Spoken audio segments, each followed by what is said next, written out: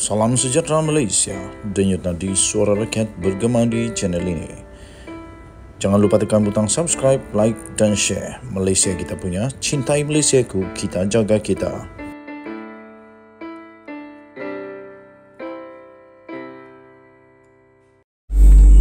Salam sejahtera Malaysia, denyut nadi suara rakyat bergema di channel ini. Muhyiddin Yassin sudah didakwa dua kali sudah didakwa dua kali di mahkamah. Dan dia telah pun diberikan jaminan untuk bebas daripada tahanan. Dia dijamin dengan nilai 2 juta ringgit Malaysia.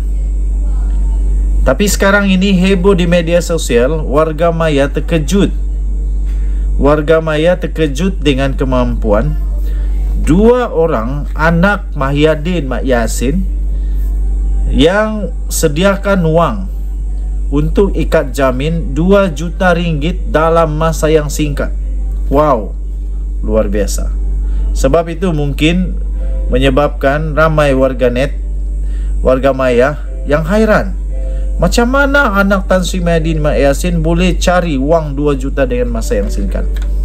Pengurusi Perikatan Nasional PN Tan Sri Mahyadin Mak Yasin telah selesai membayar wang ikat jamin sebanyak 2 juta ringgit di kaunter pendaftaran jenayah Mahkamah Session di sini pada jam 11.30 pagi pada Jumaat. Memetik sinar harian, Presiden Parti Pribumi Bersatu Malaysia Bersatu itu telah berjaya melunaskan bayaran berkenaan menerusi dua penjamin iaitu dua orang anaknya. Sebelum beredar meninggalkan kompleks mahkamah, ahli Parlimen Pago itu mengadakan sidang media yang dihadiri oleh puluhan media. Pada ketika itu, Hakim Azura Alwi telah menetapkan jumlah itu selepas membenarkan permohonan daripada pihak pendakwaan terhadap Mahyadin Mak Yasin yang berdepan dengan enam pertuduhan kes rasuah berjumlah 232 juta perpuluhan 5 juta dan pengubahan wang haram sebanyak 195 juta. Mayadin Mak Yasin menjadi pemimpin bersatu ketiga didakwa di mahkamah ini atas tuduhan jenayah selepas bekas ketua penerangannya Datuk Wan Saiful Wan Jan dan timbalan ketua bahagian segambut Abah Bersatu Segambut Adam Radlan Adam Muhammad Pada 21 Februari yang lalu Wan Saiful didakwa di mahkamah ini atas pertuduhan meminta dan menerima rasuah berjumlah 6.9 juta membabitkan projek Janawi Bawa bernilai 232 juta pada tahun lalu bagaimanapun beliau mengaku tidak bersalah.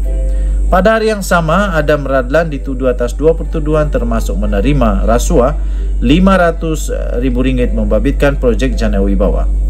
Pada pagi Jumaat, Mahyadin Mak Yasin didakwa sebagai seorang pegawai badan awam iaitu Perdana Menteri Malaysia dan Presiden Bersatu telah pun menyalahgunakan menggunakan kedudukan untuk suapan wang bernilai berjumlah 232.5 juta daripada seorang individu iaitu Azman Yusof 51 tahun dan tiga syarikat lagi iaitu Bukhari Equity Sendirian Berhad Nepturis Sendirian Berhad dan Mamfor Sendirian Berhad bagi sekutu parti itu di antara 1 Mac 2020 dan 20 Ogos 2021 Tuan-tuan dan puan-puan kerana itu um, ramai yang mempersoalkan bertanya rasa pelik bagaimana anaknya boleh jumpa cepat wang itu untuk membayar jaminan. Tapi pada pendapat saya wang itu memang senang didapat kalau beramai kawan. Jadi bolehlah dapat masa yang singkat. Jadi saya fikir anak Mayadin Yasin tak melakukan apa-apa salah. Cuma mungkin dia sudah ada duit simpanan sedikit Uh, lepas itu ditambah dengan ramai kawan kumpul-kumpul-kumpul minta tolong abah kena perlu 2 juta dalam masa ini untuk jaminan. Saya fikir boleh kumpul dengan segera. Apa pendapat kamu? Boleh tinggalkan komen. Bye bye salam sejahtera Malaysia. Hasil daripada risikan hasil daripada maklumat terkini hasil daripada pembacaan uh, apa itu penyelidikan analisis maka maklumat baru diterima. Maklumat baru diterima bahawa akan ada tangkapan terbaru daripada SPRM kalau kalau ada kes yang yang dilihat boleh menyebabkan beliau ditangkap. Dan kes ini lebih parah kerana yang dalam radar SPRM itu berkenaan dengan kes Janawi Bawa adalah seorang anak pemimpin politik. Anak pemimpin politik dalam radar SPRM untuk kes Jana Wibawa. Nampaknya kes Jana Wibawa satu kes yang sangat besar dan tak akan mudah untuk selesai. Anak seorang pemimpin politik dikatakan sekarang ini berada dalam radar Suruhanjaya Pencegahan Rasuah Malaysia SPRM ketika agensi anti rasuah itu memperluaskan siasatannya berhubung program Jana Wibawa. Sumber rapat dengan perkara itu berkata, penahanan lelaki yang dikenali sebagai Datuk Roy yang dipercayai mendalangi kes rasuah dikaitkan dengan program itu mendedahkan bahawa anak ahli politik itu yang juga seorang ahli perniagaan juga disiasat. Menurut sumber itu, nama ahli perniagaan itu bocor selepas Datuk Roy memperoleh senarai nama yang dikaitkan dengan program Jana Wibawa daripada seorang kenalan SPRM yang juga dikatakan seorang pegawai kanan di dalam SPRM.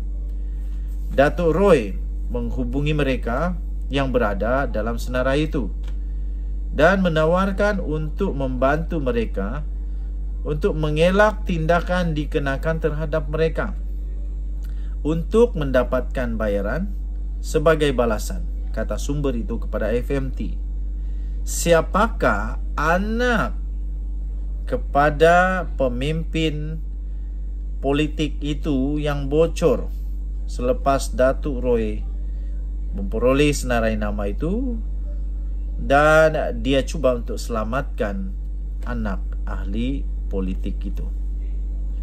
Wow. Beliau diberikan clue beliau juga adalah seorang ahli perniagaan.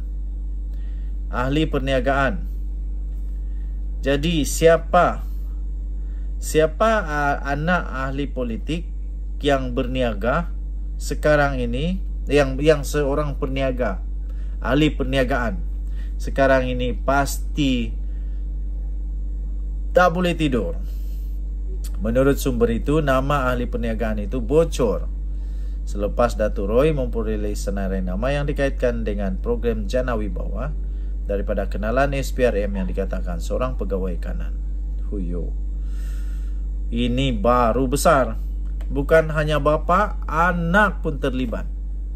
Sakau, jangan tak sakau. Sakau sampai kena tangkap padan muka. Jumpa lagi. Bye-bye.